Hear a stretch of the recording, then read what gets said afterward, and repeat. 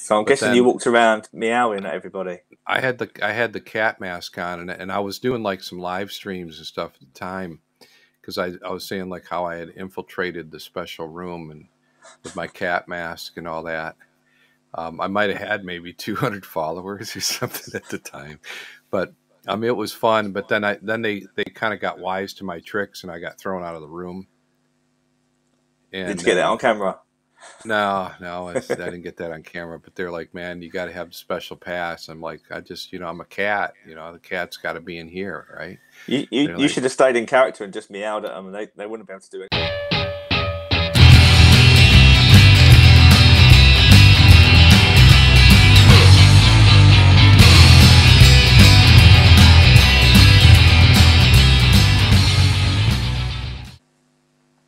hi, Danny.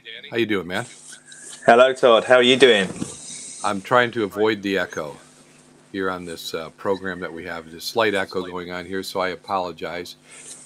But uh, I'm coming today from uh, Florida, and you are talking from Canvey, right? Yeah, that's right. Canvey Island, just down from London. That's not too far away. And you have that beautiful um, Canvey Island light, slightly different from London, from what I understand. And I've got the Matrix light ring going on here. So I'm, they're going they're to plug me in pretty a little bit later. plug me into the Matrix, and I can read the code. Anyway, enough of that.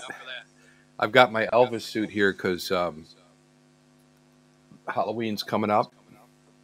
Is that what you're going to go as? A zombie, um, zombie I'm Elvis, going to be regular ass Elvis. I don't know if I'm going to wear the wig though. The wig's a little bit iffy. Um, it it kind of looks like you got to kind of suspend like what you're seeing a little bit when you see the wig, because this wig actually kind of looks like it. You it could be Elvis, but it could just as easily be an old lady. Oh, I see. Yeah, but you've got your so beard. Yeah, but yeah, well, but I'm just saying like the hair. I don't know that this looks. I'll I'll, I'll try to show you. Like this is supposed to be. It's got kind of the um these deals like the sideburns Oh, the stuff. It just sideburns, yeah. yeah, and it's I guess it's got like a little thing to snap it on you so you don't lose it. So it looks like it could possibly be a cat, maybe a dead cat. um I don't know. I just uh let's see. We'll take the headphones off. We'll give it a shot. See if we can get uh, Elvis going here.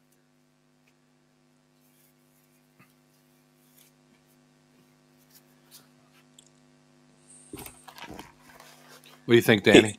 he lives. He lives and breathes. Look at him. Got the glasses too. We'll get these glasses. See, I've got the outfit, and then I'll put this this business here. I don't Ah, know, that man. is I I, I fantastic. You know of what? I really like it with the white beard. It it really it, works. it's kind of wino Elvis. No, I think it's fantastic. You just need a burger. Just grab a big burger and have that walking around with you. Well, I've got the kind of embarrassing. I've got the embarrassing gut. I Maybe you could have a beer in the other hand as well. I, I put yeah maybe or uh, what he used to eat um, deep fried peanut butter and banana sandwiches. Oh, don't that sound fantastic? Um, yeah, it does actually sound not that bad. I would eat that Um, with some. I'm actually on a diet right now, hoping to be able to fit into that outfit because it is a little bit small. It, it looks pretty ridiculous on me right now. Honestly, I think it looks so much better with uh with if it's too small, so you so we can see know. a little bit. No, yeah, I think it's I think it's going to be on me, um, regardless. yeah. So you know, so let's take a look at what you featured this week here at uh, Street Badass. So here we have Street Shooter Tim. Um, I really like this picture because I, I like a picture that's got kids that uh, are doing something funny. Like that kid's going to dig that picture later on if he, if he knows the kid.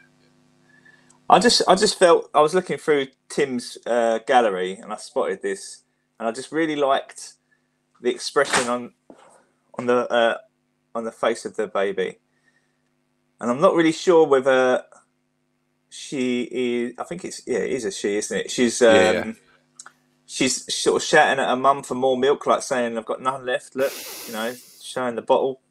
give me more, or whether she's looking at something that she wants because they're obviously next to some sort of toy stall or something like that. But I also like the old fashioned sort of uh, pram as well. It's pretty cool. It looks like it could be an old photograph. You know, it looks like the actual baby in the pram looks like it could be from the 40s, but then you've got the the sort of new toys next to her. And it's also black and white, which kind of lends to the nostalgia of it. It does Oh yeah, actually look, definitely. and- and then it has kind of those old fashioned hot drinks, cold drinks. Those are kind of old fashioned, old timey, oldie timey letters back yeah, there. they've probably been on that on that door for a while. But um, yeah, all in all, I think it's a really cool little street shot. I like. I was pleased to uh, feature this one. Yeah, it's great. He's got a lot of great stuff. Uh, you can go check out his gallery. Yeah, definitely do. I, Street shooter I like shit. I like Street Shooter Tim, man. He's got some great stuff. And I, and I'm I'm a big fan of color, but I got to say I love this one in black and white. Yeah, this works better in black and white. I think just just like you say, from the no- nostalgia of the the pram as well. It gives it a timeless feel. Yeah, he did a, he did a great job on that one. All right, here we got Willie from Queens. Yeah, Willie from Queen.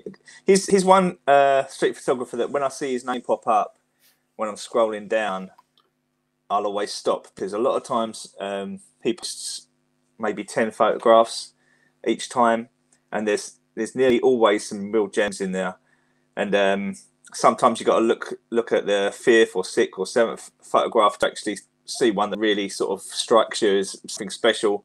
Although to, to be honest, most of the, most of the uh, photographs he does have all got a story or they've got something about them. But I really like this one. He went to Comic Con. I'm guessing in New York, maybe. Um, but this is obviously a, uh, a couple of characters that are big fans of Beetlejuice, and I'm a big fan of Beetlejuice as well. And you've got the, uh, I think he was an, maybe an American Indian or something like that, and they uh, in the at the end of the film he sprinkles uh, some dust on Beetlejuice's head and shrinks his head. It's- And he's got a shrunken head as Yeah. well. It's pretty clever, pretty clever uh, costume actually. But um, There, are, there are some great costumes Also at like- those uh, at those comic cons. Yeah, yeah. I, do you know what? I've never done it, and I really want to. My my daughter's actually gone to the one in um, London today, and um, I just couldn't make it today. But I'd, I'd have loved to have gone. Just just maybe outside, sit outside, um, and wait for people to go in and get some portraits. But again, even the even the girl, obviously dressed up as Beetlejuice herself, she looks really cool as well. I like the side eye look. Yeah, That's Just good. all together works. Yeah, she's. I, I went to a comic con like back in 2018 here in Tampa. Yeah. Yeah, it was a lot of fun. Um, yeah, it was great. I got some some pretty good shots there. yeah, people really go to town, really, you know, dress up. It's it's uh, definitely kind of a portrait kind of thing. They they're not into it if you just go and start shooting away. no, I'd imagine because at the end of the day, unless you get them on the way to the shoot, so you, if you get a random Spider-Man walking down high street, or if you get, you know, uh, some interesting costume from a sci-fi or something like that, just walking randomly, it's not going to work unless you're near the place rather than actually uh, shooting the queue of people going in.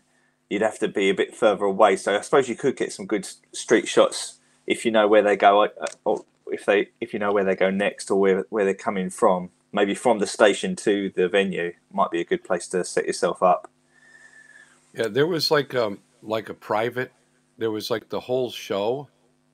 Like you, I paid to get in. I can't remember what it was. It was like twenty bucks or something. I was like, oh god, I got to pay twenty. I paid the twenty or whatever it was.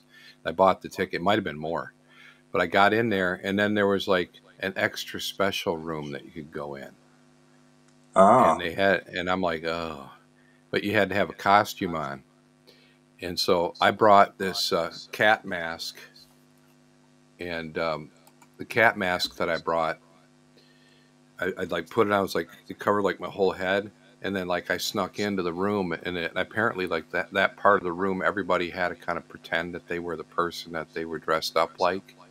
oh, okay. That's a being character. Yeah, I think so. I think that's what was going on there.